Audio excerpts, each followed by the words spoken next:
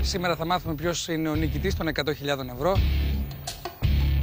Είμαστε έτοιμοι να υποδεχτούμε αυτά τα τρία παιδιά που φτάσανε στα τελικά του Nomads. Στην αρένα μπαίνει τώρα ο Ξανθός πολεμιστής. Ο μοναδικός άνθρωπος που έβαλε αυτογκόλ και πανηγύρισε. Κωνσταντίνος Ορόκλο! Εμένα μου αρέσει να πιέζω πολύ τα όρια μου πάντα. Δεν θέλω να τα βρω, γιατί άμα τα βρω πάει να πει ότι θα έχω φύγει.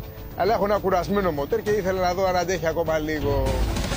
Ο θηλυκός Νίντζα, η MVP των αγώνων ασυλίας. Υποδεχτείτε την αποστολή Αζόη. Ε, η αλήθεια είναι ότι ήθελα και ένα διάλειμμα από τη ζωή μου. Δε- Απλά δεν υπολόγισα το χρόνο. Ούτε το τι μπορεί να συμβεί εδώ μέσα. Ε, μοναδικό.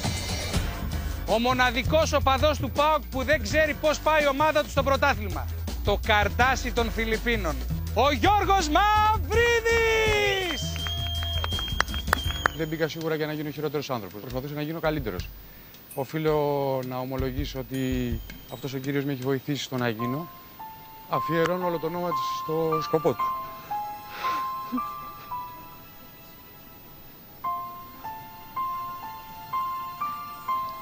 Άκουγα ότι ο Γιώργος ο Μαυρίδης είναι μια προσωπικότητα που έχει μιλήσει αρνητικά για τα παιχνίδια, θα μπει και γιατί να μπει. Κατά τη διάρκεια του παιχνιδιού δεν θέλησα ούτε μια στιγμή να σε ρωτήσω. Τώρα όμως νομίζω ότι μπορώ να σε ρωτήσω. Για την απαντήσω.